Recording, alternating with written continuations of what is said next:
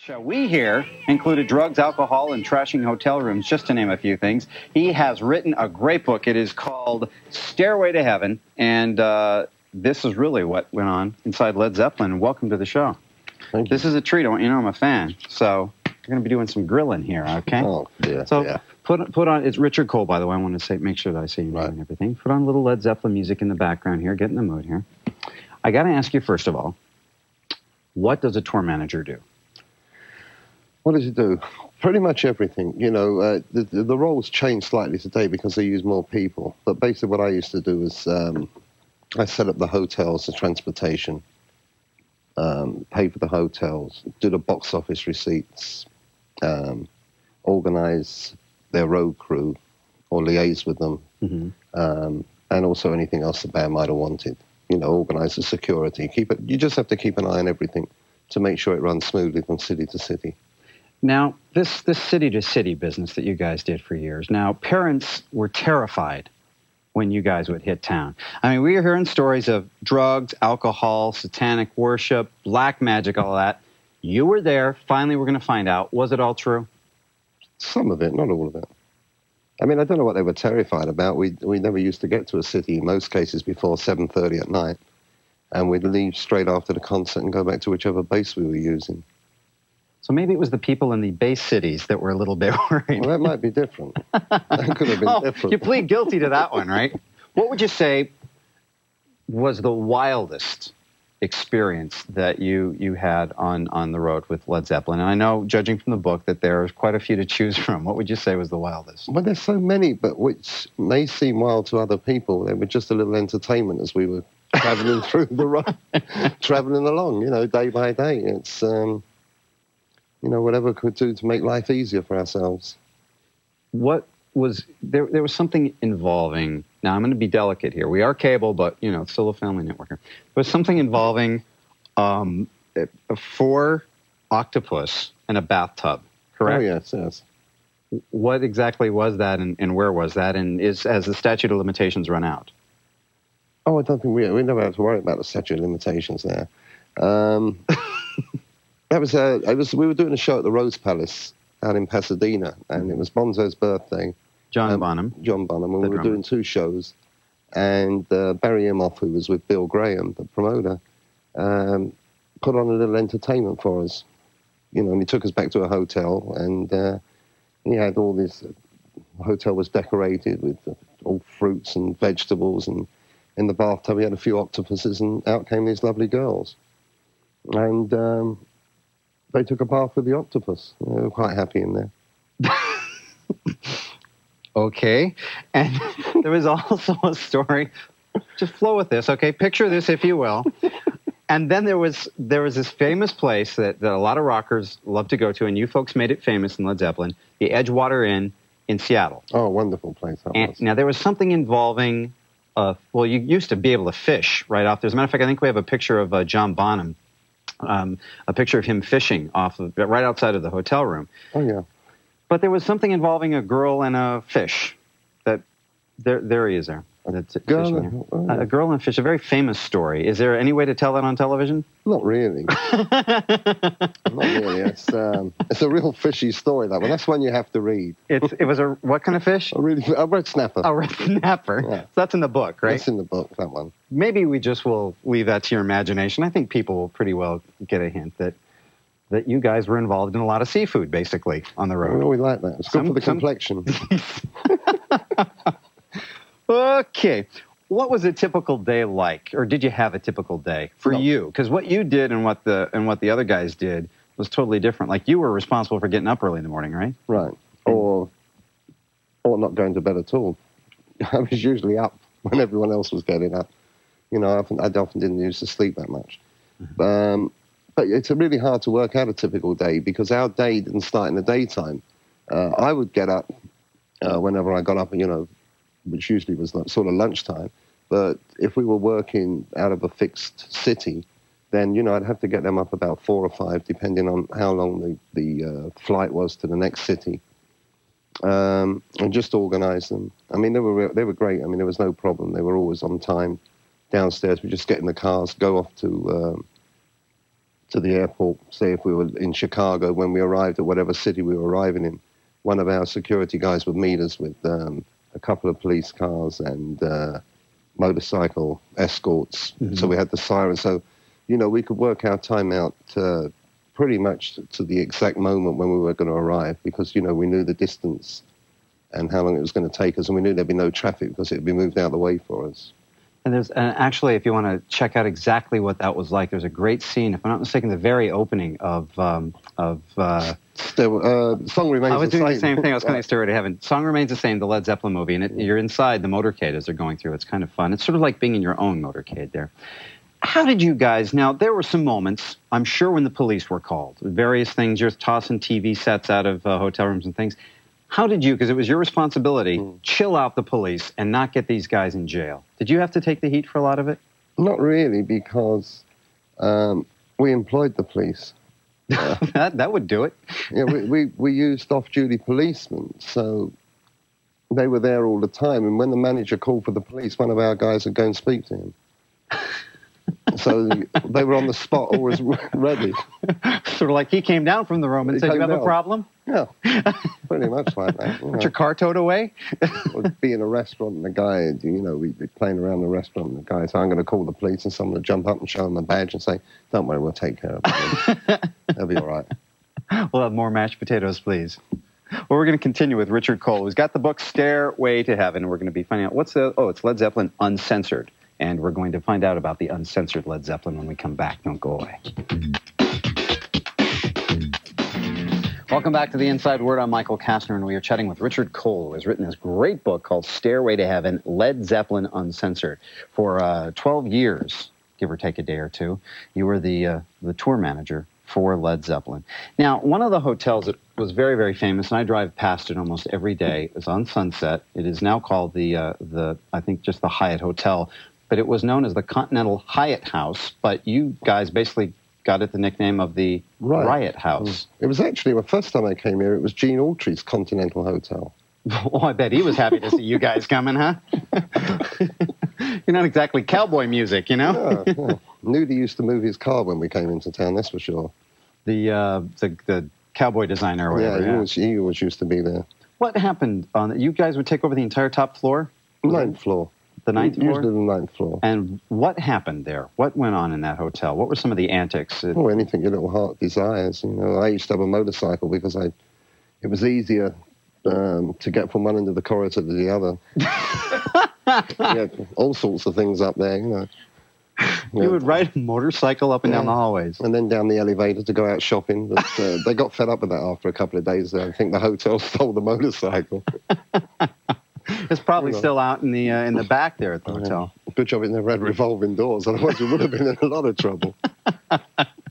Television sets, people having to dodge them down in the. Uh, in No, the no, they didn't. No, they, they were thrown out. Other parts, you know, where there was no one walking around, just out of a bit of frustration. Now, what what would you be frustrated about on the road? What stress would would the band and, and you be under? Wrong colour socks. It could be anything. you know, there's lots of little things upset you. You would dismantle plumbing. Did you guys do things like that? No, we were never into the dismantling of plumbing. Funny enough. No, that wasn't that wasn't one of our things. That's pretty sick, don't you think? I mean, Yeah. people who are into dismantling plumbing, It's a lot of hard that's work. too much. It's a lot of work and thought has to go. What we used to like doing in different hotels was to take the doors off and swap them around with other doors so that people didn't know which room they were. They'd have, they'd have the key to the wrong door number and things like that. That was usually amusing to watch. And they let you stay there time and time again. Oh, they loved us. You know, they used to redecorate the floor every time we left. Well, they would have to after Mm. the motorcycle marks on the walls, probably, right? People used to ring up to find out when we were there because they wanted to stay in the hotel at the same time because they loved being amused day in and day, you know, through the day and through the night. I should think they need a rest after. I was going to say, then they checked into like the Mondrian to get some sleep or something like that. Yeah, somewhere. Now, what about these stories about black magic and voodoo and all of that stuff that particularly Jimmy Page was was involved in? Is is that true? Well, I'd never seen it. I mean, I used to go with him to buy his Aleister Crowley books, and he, he had a home up in uh, on Loch Ness where um, that Aleister Crowley had owned at one time. But I'd never seen him sort of running around with a cape on or a wand or There was no bats bubbling in a cauldron in his room or anything like that. I mean, you never seen anything like that. I mean, not, you rarely even see any candles or anything in the room. So I think a lot of it is hearsay, you know.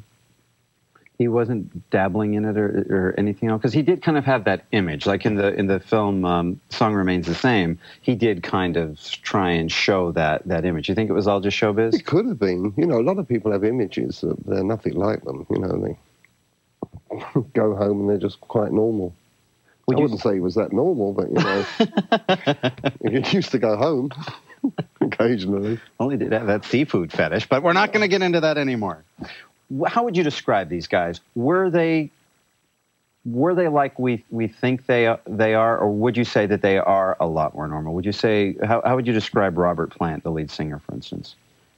They're all they're all normal when they're at home. I mean, when you go out on the road, you um, I suppose your personality changes. You know, there's more things to more things to do. You know that you you wouldn't do at home. I mean, you know, you wouldn't sit at home really and throw the television through the window, would you? No, because it's your TV. Right, you know. Um, so, you know, at home, I shouldn't think they got up to too much uh, mischief. But on the road, you know, it's, as I say, you just get bored and, you know, other people come along and kind of dare you to do things. There's all sorts of things going on all the time. But uh, I think you just fall into that pattern for a while. And then after a while, you don't even bother. I know. I, I just, I gave up throwing TV sets out. Yeah. It just, you know, it's it's old after a while. The cords get caught. And it's, you have to find something else. Now, now there's cable, so that's a hassle. And it gets stuck. Yeah. You only go halfway down. Exactly. There's two cables pulling. It's no fun. Then the no box. implosion. No. Solid state. I hate that stuff. Now, what was this thing? The band had a unique relationship with Elvis. What was that? Tell us about that. Well, Elvis was um, was one of their heroes. I think he was pretty much everyone from my generation um, in the Elvis was the hero, you know. Mm-hmm. And uh, we went to see him quite a lot of times. That must have been an unusual sight. Yeah, but uh, he was very similar in his own way. Well, I want to ask about those meetings when we come back to the Inside Word, so don't go away. Welcome back to the Inside Word. I'm Michael Kastner, and we are visiting with the author of this great new book. It's called Stairway to Heaven: Led Zeppelin Uncensored. We're talking about Richard Cole. You've been hearing about you've been hearing Led Zeppelin for years now. We finally find out what was going on behind the scenes. So when we last when we last left you, uh, we were talking about Led Zeppelin meeting Elvis. What was it like? Did they were they really in awe of Elvis? Yeah, we'd seen him in Vegas. Um, and then we'd seen him in Madison Square Gardens, but we'd never actually got to meet him. Mm-hmm. And then when he played the Forum, uh, Tom Hulett, who was our promoter as well as Elvis's, um, arranged for it so that Elvis used to stay in the hotel across the street from the Forum, and I think there's a tunnel under the Forum that goes to the hotel. So after his performance, he brought us over to the suite to meet him. What was the meeting like? It was great, terrific. He was uh, really nice, very hospitable. You know, he signed autographs for all of us uh, done a little sing song with Robert. and he spoke to Bonham mainly, uh, strangely enough, because uh, they both had the same. They both had the same um, interest, which was fast cars and Peter Sellers movies. and I mean, he got on. Bonzo got on great with him. I had no idea that Elvis was into Peter Sellers movies. Mm, yeah, yeah. Who knew? Did he like give him jewelry and scarves and things like that? Oh no, that was a different time when uh, John Paul Jones and I went up to his Bel Air home, and I was actually, I, I shouted him about something because it was so boring. Um, I asked him, I said, it's so boring here, and I swore at him, and he jumped up and went to do this karate thing with me, and as I jumped up to block it, my wristwatch came off. And he picked it up and he said, oh, you got big wrists. I said, yeah. He said, well, a lovely watch. I said, I'll keep it. And that was it. It was all off from there. He ran in and he just got his dressing gown and pajamas he was wearing. He ran in, came back with this beautiful uh, gold watch with uh, diamonds and onyx and gave me that. And then he looked at the ring and he wanted my ring, so I gave him the ring and he came back with one, a ring that, uh, that still had Love Linda on it when I got it. I had to have it rubbed off to give it to my wife, you know. but uh, it was shaped like a cowboy hat with a, a one and a half carat diamond and two small diamonds. And he looked at John Paul Jones and he said, well, what have you got? He took Jones's watch off him and he gave him a watch. And then when we left, he, uh, his bodyguards went to get up to leave, you know, to go round him, and he said, I don't need you guys. I'm safe with these two here. And we went out to the car and he opened the car doors. And I mean, the chauffeur couldn't believe it because he's there in his dressing gown and the slippers with little pom poms on them. And, and, he said, See you again, guys. And unfortunately, that was in 1975, and it was uh, the last time we ever seen him. You obviously kept all of the jewelry and everything together. Right? Oh, that went got lost. You're kidding? No. Oh no. That Well, I gave the ring to my wife, and I think that was stolen from one of our homes at the time. And then the watch went missing when my house got flooded. So well, at least you had it at one point. But you Yeah. met Elvis. What yeah, that's say? that's a nice thing. I still got a scarf, I think, somewhere. I a little sweaty scarf. yeah, it was Love Elvis on it or whatever. I And I, wanna- still got the autograph. Oh, that's not too bad. Well, I want to also ask you if you think the band is ever going to get back together. Is there any chance? I know, you know, when John Bonham died, the drummer, he died in what year? It was like 70. 80. He was in 80? I Okay. think September 80. They played once at Live Aid, is that right? And then they did that reunion thing at um, Atlantic Records in 1988. Right. Do you think they're going to ever do anything together again? It's really hard to know. I can't see it, but then you, who knows? I mean, I know Robert's making an album at the moment, so Mm-hmm. you know that by the time he makes the album and then tours, that's another two years. I really can't see anything happening for before that comes around again when someone's free to do something. We can still keep our fingers crossed, right? There's no, it's not ruled out yet, Make sure you don't get cramped though, holding them too long. especially if you're wearing Elvis's ring out there. Return it to this guy. Now, what you're doing besides writing this book is you're working Oh. with a band called Switch, right? Yes, oh, they're gorgeous. They're four gorgeous young girls, and um, we're going to put them in the studio near the end of September. We're just doing the photographs and the promotion for them now. Do they know about you and that red snapper? Oh, I wouldn't be surprised if they haven't read the book. You know, I don't think they can run fast enough. I don't think I can run fast enough to chase them these days. So I don't think they're really worried. I will say that you don't look like we would expect the, the tour manager of, of Led Zeppelin to be. You're very, very businesslike and everything. Well, I guess that's you really needed that kind of that, that image to, to chill out all the hotel managers throughout the years, right? Not really, because when you're on the road, it's like difficult to keep uh, to be well, not well dressed. I mean, you can well be well dressed, but you know, you're always traveling all the time. I used to wear mainly jeans and t-shirts most of the time. And carried lots of cash. Yeah, that's that's what the managers are impressed with. You know, they, don't- they don't worry about the suit if you've got no cash in the pockets. Well, I really appreciate it. It's a pleasure Thank meeting you Thank you very much, And you've got to check great. this book out if you've if you've ever heard a Led Zeppelin song. You really want to know what was really going on. This tells you everything from a guy who was on the inside, Richard Cole. The book is called Stairway to Heaven. Well, when we come back, we're going to be talking about some other musical acts, including the Eurythmics. I can't even talk today. Are they gone for good? We're going to find out. Don't go away.